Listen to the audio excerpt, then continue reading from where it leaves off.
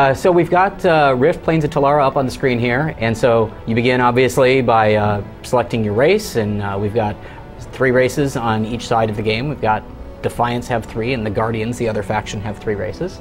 And so we'll go through and begin to customize. You choose your archetype or your calling here on this uh, here on this screen.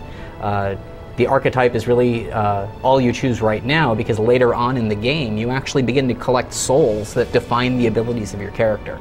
The entire idea of our class system is that you are able to, you know, you roll up your character inside of one of these callings and we'll uh, show you the beginnings of a um, uh, of one of the warrior warrior callings here that actually has a number of souls equipped. So you can make as a warrior you can find or acquire like a the soul of a beastmaster, the soul of a paladin, the soul of a reaver, uh, the soul of a warlord, and begin customizing these things uh, any way you choose. Uh, and then on top of that, you have different roles that you're able to save off such that you can have one role saved for soloing, one role saved for PvP, one for raiding, one, you know, and so on and so on. And um, yeah, so here up on the screen you can see the, uh, um, the combination that Hal is playing right now. It's a Paladin Riftblade Void Knight, which uh, looks like a build for let's see, it looks like a build for a guy who likes some tanking but still wants to do some damage and uh, still wants to be able to take on lots of creatures at once when he's out in the wild. And then you can, yeah, you can also see that you can switch between souls here um, as easy, or switch between roles, sorry, uh, as easy as clicking the button. And now you can see he's got a very heavy Reaver build, which is definitely a lot more about uh, damage and uh, a different type of tanking. And so here we are in Iron Pine Peak, which is a uh, uh, mid to high level zone up in the uh, up in the north of Telara, And we can uh, show off the area a little bit and we can see if there's any if there's any invasions or rifts going on right now. Yeah, tell us some more about the uh, the rift system that yeah. you mentioned earlier. Yeah, so rifts them, uh, the the world of Telara is at the nexus uh, in its universe. It's at the nexus where all these planes of reality are intersecting. The planes of earth, air, water, fire, life, and and death itself are pushing in on this world. And when they push in on this world, that's a sign that an invasion is about to occur there.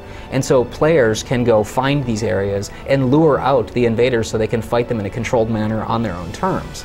Uh, these are highly social events, such that if I am out there, if you, if I'm out there playing one of these events and you come and join me, we're both better off as a result because we're going to defeat more opponents and we're going to get better rewards as a result um, which is kind of unlike what happens in a lot of games where if one person sees a piece of coolness, they want to keep it to themselves because they don't want anybody else to take the reward from them.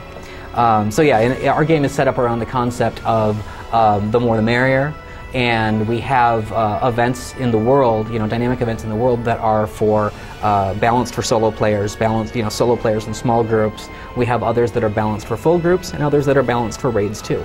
Up off in the distance over here, we've got a uh, we've got a water rift, and invasions from the plane of water are generally uh, characterized by gigantic tentacles swinging from the air, and uh, lots of uh, lots of rainy visuals, lots of water visuals, and then so the, all the all the creatures are tightly themed to their plane. And so let's get a little bit closer if we if we could and we can see what happens. So you can see the ground, you know, the ground changes, the sky changes. Um, essentially, it looks like it's a. Uh, um, yeah, you can go on in there and kill some stuff, or you can change roles and kill some stuff, whichever you want to do. Um, so yeah, these uh, these events themselves uh, um, are, like I said, they're all about they're all about destroying the other side, uh, killing waves of these opponents, some of them have other games inside of them. Uh, some of them have uh, entire uh, entire like small towns that get spawned in the uh, in the event area, um, and give you new um, uh, new things to you know new things to fight through, and as well as just some of the simpler ones like this one that we see right here is just another way to. Um, excuse me, another way to work out your sword and get some good XP and loot for doing so. All right, well, very nice. I think that's going to about do it for uh, this segment.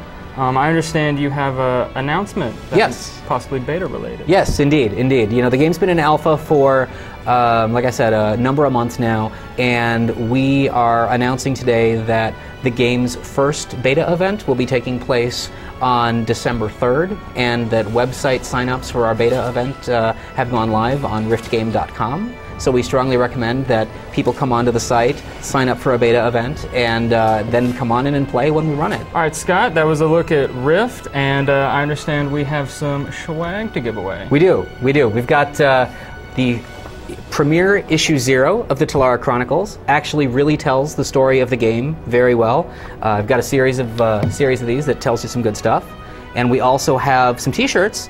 Uh, here's one example of what the Guardian T-shirt would look like. We have Guardian and Defiant side, but the Guardian one is here today. Very and then, yeah, yeah. And then uh, on top of that, we also have uh, some beta keys, some VIP beta keys, in fact, that get people into all of our beta events. And so once you have one of those for uh, all of the beta events that we run, people can come on in and play. All right, well, very nice. Thank you so much for coming by today and showing off Rift. Thanks for having and, us. uh,